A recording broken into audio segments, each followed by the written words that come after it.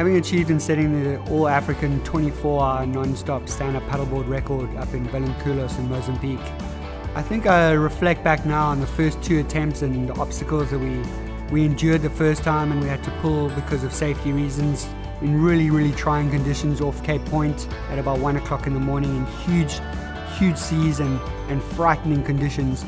And then the second time and the second attempt, 25 miles off Robben Island in the middle of the night, the fog coming in, the sea state going horrendously difficult, freezing cold, our support boat sinking.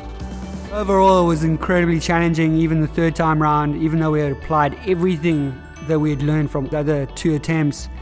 The new challenges felt like they were insurmountable at the time, but no matter how many challenges got thrown our way, we knew that we could overcome them from everything we had learned from the first and second time. And no matter what, I was never going to give up, and we finally got through to that goal. All these amazing little adventures have all been leading and building and shaping me for the next huge adventure to come to paddle solo unassisted across the Atlantic Ocean for charity.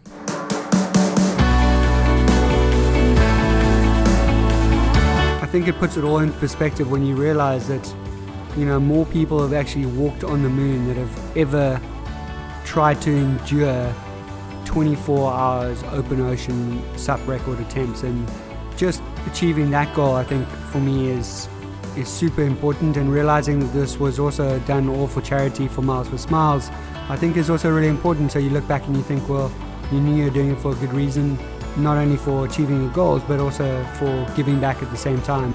Some people say third time lucky, but I say third time resilience, perseverance, and dogged determination. You always get your goal.